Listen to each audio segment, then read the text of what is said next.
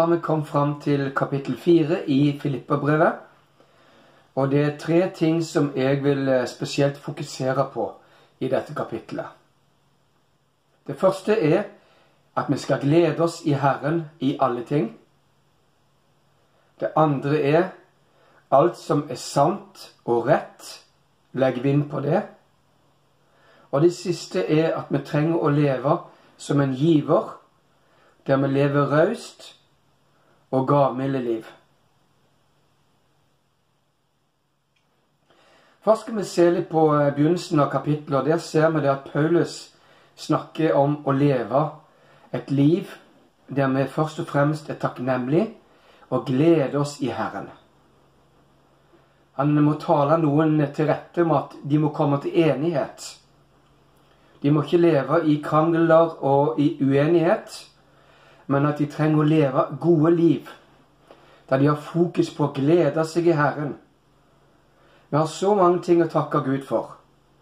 Guds vilje for deg og for meg er at vi skal glede oss i Herren gjennom alle ting. Uansett omstendighet. Det står i Guds ord at gleden i Herren skal være vår styrke. Så står det òg i kapittelet her at la alle mennesker få merke at vi er vennlige. La oss leve med fokus på det gode Gud har gjort oss, gjort for oss. Det gode Han har sagt, det som Han har sagt i sitt ord. La oss glede oss i Herren, og la mennesker få merke at vi er glad. Uansett hvordan omstendighetene er, uansett om du har en dårlig dag, eller om omstendighetene og situasjonene kan være vanskelig, så la oss fokusere på Gud, på Hans ord, og på hva Han har gjort for oss, og hva Han har gitt oss. Og da slipper vi å bekymre oss for ting rundt omkring oss. Det står her at vi ikke skal være bekymra for noen ting, men legge alt framfor Gud.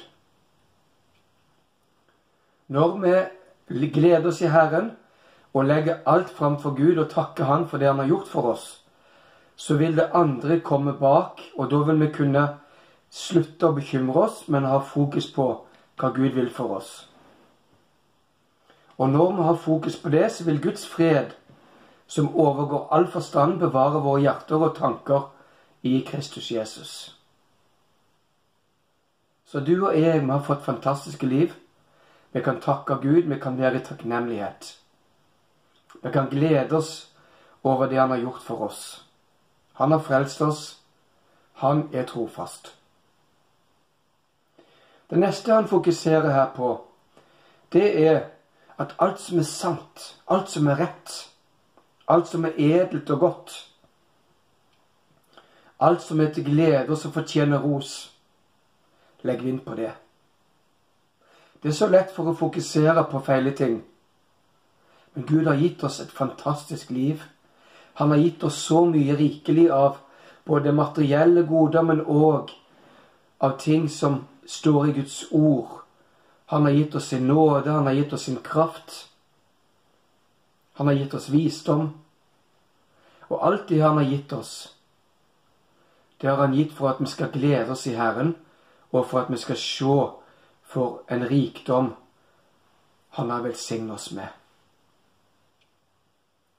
Alt vi har lært, alt vi har tatt imot ifra Herren, det sier Paulus, det må vi legge vind på. La oss ikke glemme det i disse tider, hvor det er mange ting som kan være bekymringsfullt.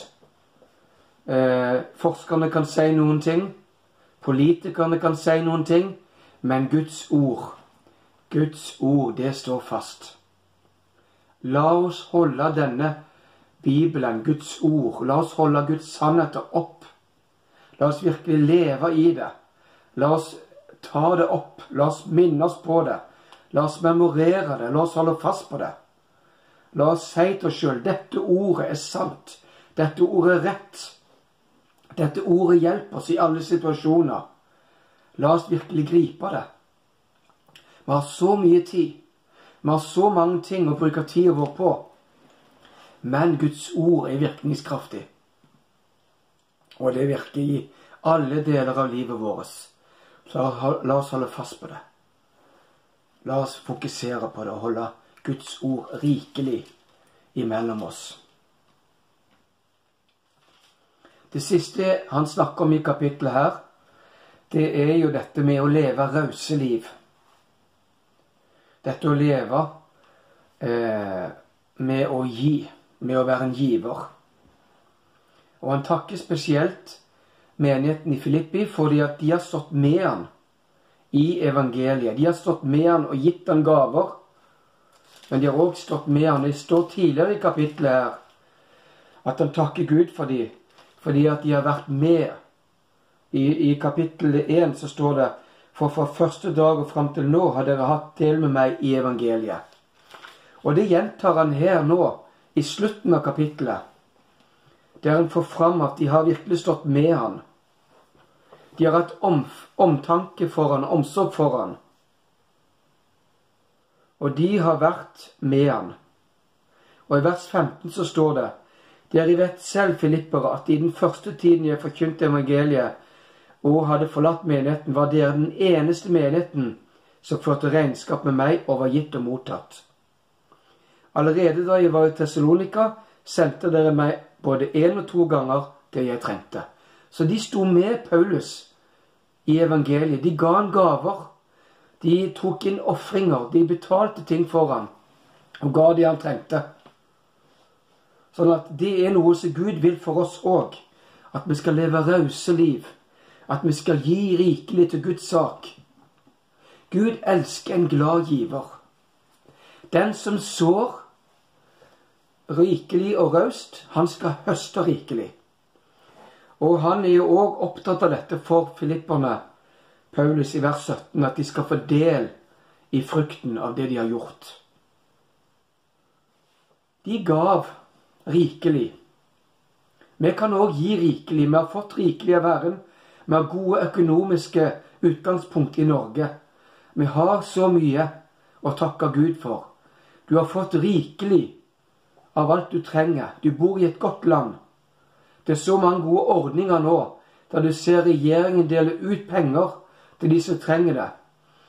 Og vi har et mye bedre utgangspunkt enn mange andre i verden.